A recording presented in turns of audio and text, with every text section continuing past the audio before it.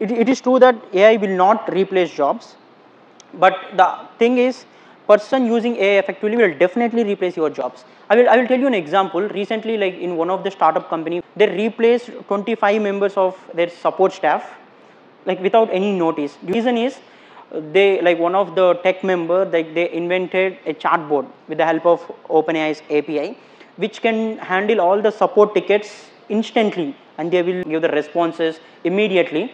It made the founder think okay so we no longer need 25 support employees. We are paying a lot. Instead of that if we can pay at least 10% extra to this tech guy who developed a chatbot then ultimately it will solve many of the things like it will improve the productivity. It will increase the profits so that they can invest that money into somewhere uh, some development related thing. So that is true because here like the founder is not the one who replaced all the 25 jobs or who laid off all the 25 employees but the person who invented that chatbot who is using the AI effectively is a reason for that layoffs. So there were many such instances that are happening where people are laying off employees because of uh, some smart individuals with good awareness of AI. So that is true.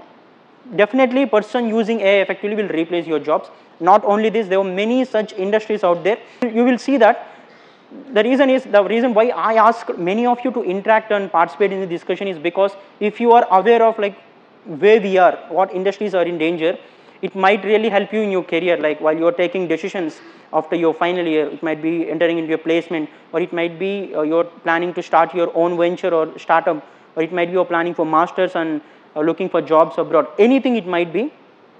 You, if you have the awareness of what industries are AI prone, what industries have the threat, then ultimately it will help you take right decision. It's not that if someone like you just need to call people they will offer you 10 lakh lpa and all like i don't want to mention name again any of the companies with the name of business development executive or customer service executive or customer success whatever it, name it might be if you join there just because they are giving you 10 lakh lpa with uh, i can say not really tough interviews easy interviews they they won't bear you even for 4 to 5 months they will just give you a reason called uh, we no longer need or we are in losses and will replace you that won't be the case if you are actively looking into what AI can do.